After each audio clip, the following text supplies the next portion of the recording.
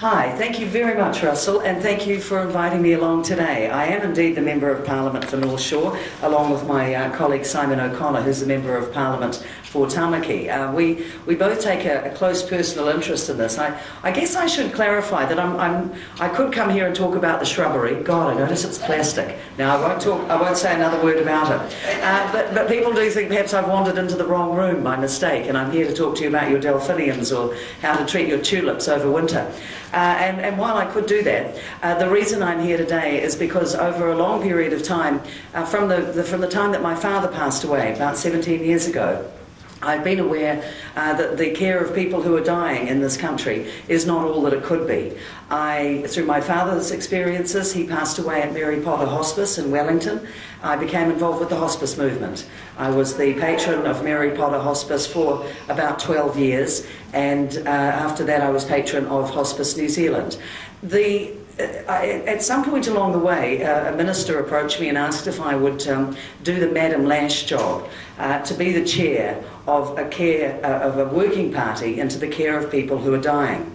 So I led that for five years, and I had a group of uh, clinicians. I'm obviously uh, more of a consumer, fortunately not in the position, touchwood, uh, of having to contemplate my own death at this time. But I corralled a group of uh, clinicians and people who were associated with palliative care and hospice and general practitioners and doctor educators and so forth to consider how we can improve uh, palliative care in this country our, our terms of reference deliberately did not include euthanasia. And the media, uh, and I was part of the media for 30 years, asked me why it was that we weren't doing euthanasia. And I said, it, it's not the answer. The question is, how can we improve our care of people who are dying? How can we improve our palliative care? And now that I'm in government and, and a legislator, uh, a mere backbencher admittedly, uh, but I am uh, now in a position, along with my colleagues, to carefully consider how we can look after people who are dying. As all of you are very well aware, uh, Maryan Street, who is a Labour list member of Parliament, has indicated she is going to put a bill before the House. Uh, every couple of weeks in Parliament, you have what you call a ballot. Uh, it depends really on how much legislation needs to go through. Um, but the ballot is in this ancient 1970s biscuit tin. It's a funny old thing. Uh, and, and into the ballot tin, they put everybody's name and, well, in fact, their numbers. And then on a, uh, at midday on a Thursday, every second Thursday, they rattle the tin, and the media and everybody else crowds into the bills room to see who will be drawn out of the ballot. It is a very random thing. It may or may not happen. Uh, we had a draw on Thursday at midday. Maryan Street's bill did not get drawn out. In fact, uh, it wasn't put in because she still hasn't quite finished the draft. So um, that's my understanding of it. I haven't spoken to her about the detail, uh, but I understand she is determined to do it. But there is no way that uh, it can be forced. It is a random and arbitrary act as to whether it's drawn out of the Siddleton every couple of weeks. So what I'm doing here today is just to give you a little background on where Parliament is at with this, because uh, when it is drawn, uh, and it may well be before the next election in 2014, then I think all of us who don't believe in euthanasia need to be ready, need to be ready to go. I notice that Philip Nitschke, Dr. Death, has been in the country this week. Uh, fortunately, he's not going to be on Q&A tomorrow morning. He has other commitments. Uh, so, uh, but there is going to be tomorrow on that Sunday morning current affairs show an examination of euthanasia and a variety of people have been invited to speak. There's a panellist. Uh, of course, we have um, Alex Schadenberg, Schadenberg, who will be speaking here. Um, welcome, Alex. Um, uh, he, uh, I'm very much looking forward to hearing his experiences uh, because the situation has changed a little in Canada. And it is very interesting for us in New Zealand to look at what is happening internationally with this. So that will be on the program tomorrow. Um, there are a number of other events and, and uh, significant things that will be coming up just to, to get public the public more informed and more aware of the issues because I find, um, you know, I'm in my early 50s, I find that a lot of my generation haven't really thought too much about death. I'm not saying we're so much a death denying society, we just don't, we're busy getting on with life. And until death touches us in some way through a loved one, uh, it isn't necessarily something we contemplate very, very closely. So perhaps people are easily swayed by the notion uh, that everyone should die with dignity. I was on a program called Backbenchers a couple of months ago. Uh, this is when the idea or the notion that Maryan Street would be doing this private members bill came up. So they asked us as panellists, political panellists, uh, what we thought about it. And they, they got the pub. You know, I don't know if any of you have seen the program. It's pretty rowdy, but it's like an old-fashioned campaign meeting, really. People sort of shout and heckle and carry on. So the, the host asked the public that were there to put up their hands if they wanted to die with dignity. Now, who amongst us would not put up your hand? I mean, who does not want to die with dignity? It's just a, a ridiculous question. The, the assumption, of course, is that um, if you want to die with dignity, then you need to euthanize le- le- lethal uh, euthanasia. I don't believe that that is the answer, and I don't believe that we need to even pose that question. I think the law as it stands now is very good. I think it works well. I think it, uh, in its own way, uh, people are able to make decisions. Uh, we have what is known as an advance directive. Uh, and a lot of people, the public generally, don't actually know about this. And I know other speakers will be uh, touching on this later in the morning. But um, you are at this time uh, able to uh, embark on, quite legally in New Zealand, what's known as passive euthanasia. So at a time when death is near, for example, um, you can refuse treatment. You can refuse food and water and antibiotics and all of that sort of thing. So, in a way, there is uh, the ability for the individual in consultation with their loved ones and, and even before an illness perhaps takes hold, motor neurone diseases, that sort of thing, um, where you know what the clinical pathway is going to be. You can give an advance directive so that if you're not able to communicate, your doctors and medical professionals are aware of what your intentions were. So there are already, in my view, very good safeguards and, and a very good system. I uh, have an enormous belief in the integrity of the hospice movement. Uh, I saw that firsthand when my father was dying. He was in a hospital initially and he had cancer, and they, they didn't really know what to do with the morphine. And young interns were pumping him full of the stuff, and it was hopeless. They just didn't understand. A lot of doctors, I think, are conflicted uh, when they see a dying person. Uh, this, this is very individual, of course, and some doctors are better at it than others, but for some, it is a, is a, a surgeons, for example, used to say to me, someone who is dying is, represents my failings. And I'd say to them, no, that's not the way to look at it. You did all you could, and and uh, you know people need to be able to uh, end their lives in the way that they want to, in the way that nature intends. And I suppose as a as a once a gardener, always a gardener, uh, for me, nature takes its course, and being around people who are dying uh, is is a privilege, and it isn't always pretty.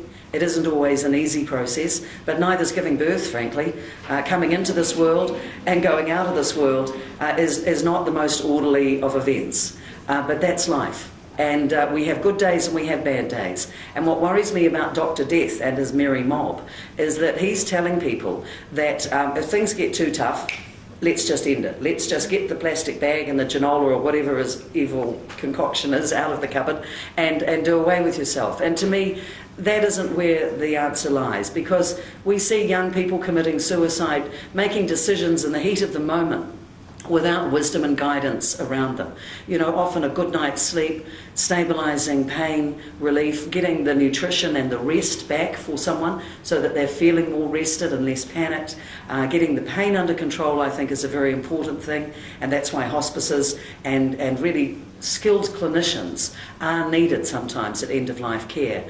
But you know, to me, the, having witnessed both my father and mother dying and being there when both of them passed, uh, to me it was a privilege to be there and it was natural. They took their last breath in a way that, that was true to them and true to their life. And the, the closer they got to death, particularly in the case of my, my old man, my father, he'd fought in the war, he was a, a battler.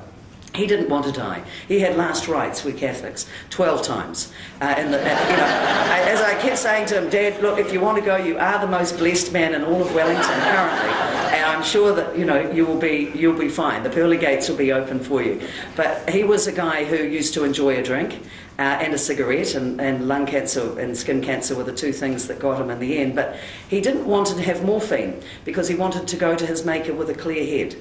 And he was determined about that, really determined. And he's a stubborn fellow. And it took me quite a while. Uh, I'm, I'm an only child and I got on very well with my dad, but it took me quite a while to persuade him that Morphine is actually a very good drug when it's administered properly and, uh, and by people who know what they're doing. Uh, and I, I, personally believe, and, and, others more knowledgeable than I will speak about the clinical side of it later, but there are very, very few people that need to experience the levels of pain and discomfort that the Maryan Streets of this world would tell us is a part of death and something we need to avoid very carefully. So, you know, the closer Dad got to death, the more he valued life. And I have seen that very often in friends of mine as well.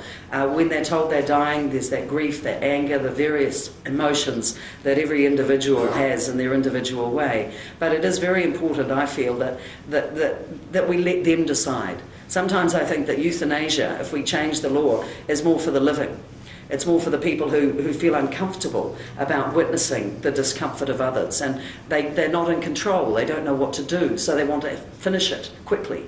And it's, uh, it, it, to me, the euthanasia law is. It, we have to think very carefully about the signal we send to our young people and to society. This is a disposable age. You know, your cell phone's only supposed to last a couple of years, your computers, everything is outdated, and there's a built in obsolescence. You know, we're actually expected to trade our cars and, you know, get the newest, brightest um, rinky dink thing. But uh, to me, doing that with human life, to, to say that there will be a moment where a, a, lethal injection can be administered, we will choose the time of life ending, uh, is treating human life uh, as you would an animal, or, and, and, that's not right. We are, the sanctity of human life is more important uh, and, than that, and we need to be very careful about how we uh, tell our young people that people, you know, older people, for example, uh, people with disabilities, that they uh, have reached their use by date, that somehow they should be disposed of because they are no longer as useful as other people or as they once were. And with my mother, she had a very long journey with dementia.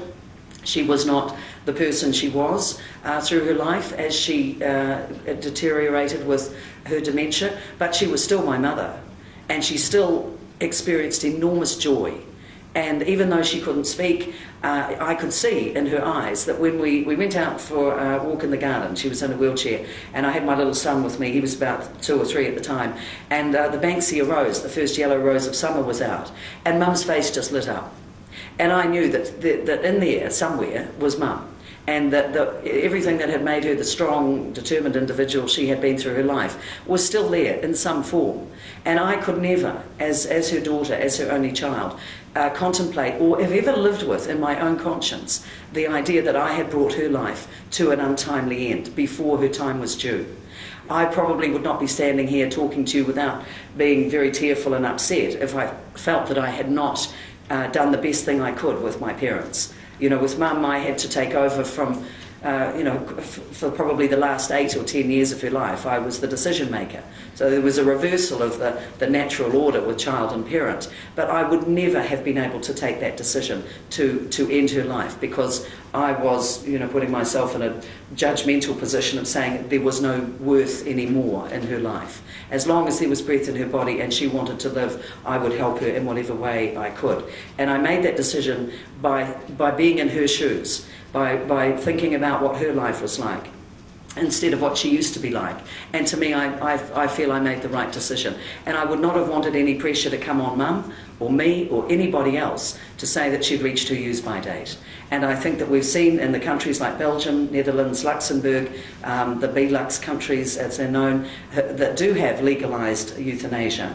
Um, we have seen, and you will hear further uh, later in the day from other speakers, about individuals who, um, the eugenics thing aside, but they're just told that they are no longer of any use to anyone. Older women who get depressed because their families have died, and, and they, so they do away with themselves. Uh, instead of being engaged in society and treated with the respect that they deserve, they're told that they're useless. And what terrible effect does that have on people? Because as a lawmaker, Simon and I sit there day after day in our, in our backbench row, uh, part of select committees and part of making laws and passing them and debating them in the House. And it is the unforeseen and unintended consequences of what you do that you have to be so careful of. And uh, I, my conscience, and it will be a conscience vote when it comes up in Parliament, would absolutely determine that I would not vote in favour of any bill that would um, bring about legalised euthanasia. Uh, I don't actually, I've heard all the arguments, so I'm not going to be swayed. Uh, and I know that when it comes through again uh, with the ballot, there will be a lot of emotional and negative arguments. So I think we all need to be uh, geared up to talk to people about the issue and really make them think about the, the sanctity and the quality of life. Uh, as far as Parliament is concerned, we've, we've considered this question back in 1995. Our former Member of Parliament, Michael Laws, who quit in disgrace, um, didn't come within a bull's roar of getting, the, uh, getting his, uh, I think he called it the Death with Dignity Bill, I just call it the Death Bill, uh, or legalise suicide. Let's not tart it up and uh, steal the language of hospice. It's not about death with dignity, it's about assisted suicide, and I'm, I'm always quite clear in my language around that.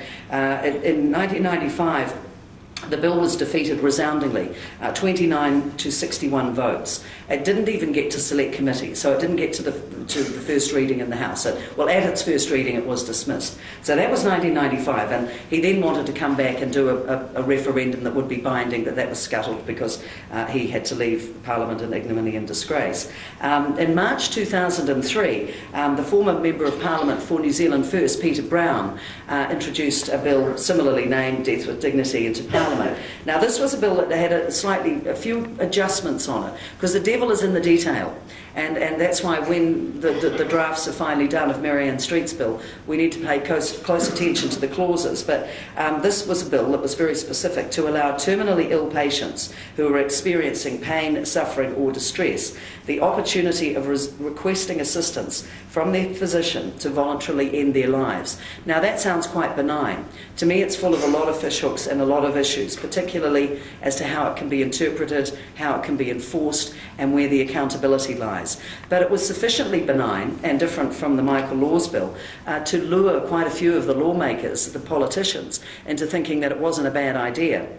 So, in fact, that was very close. Um, I was surprised there were 58 in favour and 60 against. So, two votes. Uh, were the things that determined whether it went through to select committee or not. And as with the laws bill, it didn't get that far. It was voted down in its first reading. But I think the tide has turned. There have there has been a lot of polling and uh, you know, people conducting research on New Zealanders, and there is a sense that if people are suffering uh, in the way that your family pet would, would you let it continue to suffer? There's quite a lot of simplistic arguments that are being put forward, uh, and, and in fact, sometimes the complicated things in life boil down to some very simple things. And the simple thing for me is the sanctity of human life, and that I have never seen a law anywhere in the world that protects the vulnerable from people who might predate on them, their own families. You're spending my inheritance. You're useless. We don't want to visit you anymore you know, forcing people in their own way to feel that they're no longer of value. Uh, so those that, that that sort of reasoning to me is is my bottom line. I don't feel that there is a law with any kind of detail in it that can protect people who need our protection. So uh, I am, as you'll gather from a, an Irish Catholic background, someone who can probably talk under wet cement. I, I, I fortunately have never had to put that to the test. Uh, but I, I, I, will stop now because there are some excellent speakers, that, and I know that the timekeeper here has probably got his taser on the ready, so I, I don't want to incur Russell's wrath as, as the first speaker today. But I, I would just um, urge you all, as I will be through the day, to, to listen to the arguments, to think again. And I know that um, you know all of us, by our presence here today, uh, are not uh, people who are, are fond of or keen on euthanasia. Uh, but I just urge you to, to think about the arguments and to think about about spreading that word and talking to people and engaging people because we do need to involve people in this discussion. Because my feeling is that it will be closer this time. I have um, sought uh, sought the counsel really of some of my parliamentary colleagues, and I believe that, that there are people who are swaying and that need to be brought round to, to this. So don't take anything for granted. Just because it has gone through twice and not been passed, it doesn't mean it won't happen. So uh, I, I'm sure that you will all be vigilant, and I'm very much looking forward to, to the rest of the proceedings today. Russell, thank you all. Thank you.